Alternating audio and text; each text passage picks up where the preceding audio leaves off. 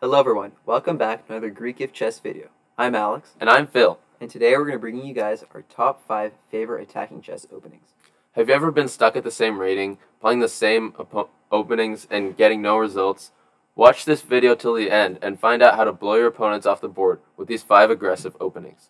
We pick these openings because we have personal experience with them and because we believe that they are easy to learn and do not require heavy memorization of variations. So, to start off, we're going to be showing you guys the King's Indian Defense. This opening is one of the most dynamic openings you can play against d4 to get your um, opponent out of their comfortable positional game into a more tactical one. After knight f6, we're going to see c4, d6, knight c3, g6, and white is going to take the full center with e4. Now, we have encountered our bishop to g7, and now have reached the main position of the King's Indian Defense. In this video, we're going to be showing you guys the move knight f3, But there's also bishop e2, f4, and f3, which we'll be covering in our upcoming video. So, after knight f3, castles, we're going to be trying to break against white's over um, extended center with e5 or c5. So, for example, after bishop e2, already we can hit him with um, e5, and then after castles, knight c6. Now, oftentimes, white will take even more center space with d5, but here we can bring our knight back, and after b4, you're already seeing both sides' plans develop, where white is going to be trying to beat us on the queen side, and we're going to be going for kingside attack. So after knight e8, This is preparing f5, a key idea we saw in our Kalashnikov video. Sometimes going back is the best way to go forwards because here you're preparing, like we said, a knight slingshot where you expand with your pawns and then bring the knight in afterward. Exactly. So in this position, we'll be going for something like f4, and then we can bring the knight back, maybe even play g5, and bring this knight to knight to g6. So we're going to go into heavier details in our upcoming video, but these are some of the key ideas that you guys need to get started playing the King's Indian Defense. And just know that you can get some beautiful games with this attacking chess, uh, flying attacks. All right, next opening, two knights defense. This is something I've played personally, and I really like it because it throws uh, fried liver players really off their guard with an attacking opening. So after e4, e5, knight f3, knight c6, white plays the Italian opening, and now we have knight f6. Oftentimes, white thinks, oh wow, this is a blunder, I can just get my fried liver from knight g5. However, here we trick white and play the move d5. This cuts off the light square bishop, and it no longer attacks f7. After e takes d5 and knight a5, we're attacking the bishop and attacking white's center, which is already crumbled. Now, white does have this check, bishop e5, c6, and after an exchange on c6, white can retreat the bishop. However, here we're going to be developing our pieces to active squares. We have bishop to d6 and then bishop b7. Oftentimes, you're going to want to play c5 and c4, which will not only attack this bishop, but also give us room to bring this knight back. So, as an example variation, you can play something like knight d5, attacking the knight, and after it retreats, play bishop d6, start your development. Castles, knight f4, already putting pressure on this bishop. And let's say white just plays a normal retreating move like bishop e2. Well, here you explode with tactics after knight takes g2.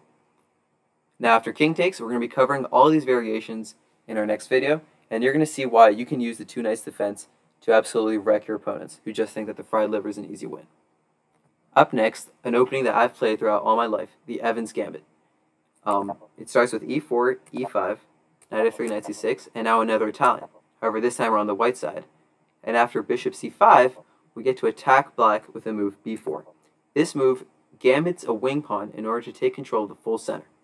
By the way, this is not something that just beginner players play. This is also something that's been played by some of the best players of all time, like Bobby Fischer, Garry Kasparov, and Hikaru Nakamura, to get some beautiful attacking games.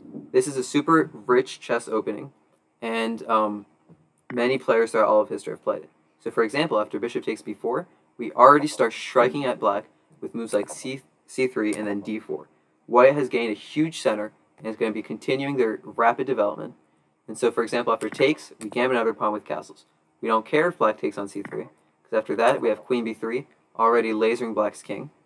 And we're going to bring our bishop out to a3, and then taking on c3 with a knight. Some After that, open lines. Exactly. The rooks have their beautiful open lines down the center, and black is going to be under a lot of pressure. Even if you don't regain your pawn, the piece activity makes up for it, and that is something that we're going to be showing you guys very soon. Next up, another gambit that I've played throughout my entire career is the Smith-Morra gambit. This arises this arises after e4, c5, and d4. Here, white avoids all of the um, heavy memorization that's needed in Sicilian lines and just gets black out of their comfort zone with d4. Instead of black attacking you down the queen side, you're going to be the one bringing the fight to black. So after takes, c3, and takes, we now develop our knight and have gained the open c file for our rook. The piece placement is going to be super natural with moves like bishop c4 and knight f3. As you can see, we're targeting this sorry this weak f7 square, and um, we're going to get quick castling, um, bishop development, and everything comes naturally.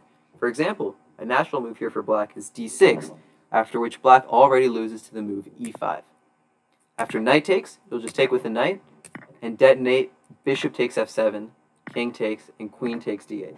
Black, uh, white has already won a queen by move 10, and this opening is absolutely going to stun your opponents. Another example, after e5, um, let's say black tries to take with a d-pawn. Well, now you can trade queens. After knight takes, play knight c5. This runs the fork on c7. And so super simple move. Phil, what would you play here? I guess I'd just play uh, king d7 because it just protects the fork. Nothing you can do after that. Right? Exactly. So a lot of players here play king d7 and then just lose in two moves to the beautiful checkmate with two knights. Knight takes c5, king back, and knight to c7. Checkmate. That is a double exclam move. And so this is why we think you guys can start picking up the Smith-Morra Gambit and getting some beautiful games with it. Finally. So this is the knight f6 Scandi. This is something I like to play because it's also light on theory memorization and you get some really dynamic positions with it while also throwing your opponent off their guard. So normally in the Scandi, um, or the Scandinavian, black will take with the queen. But this just gives white easy development and it's known to be um, a better opening for white. Queen, um, black's queen gets harassed and white just gains a, a development advantage. So we um, propose that you guys start your development immediately with knight to f6.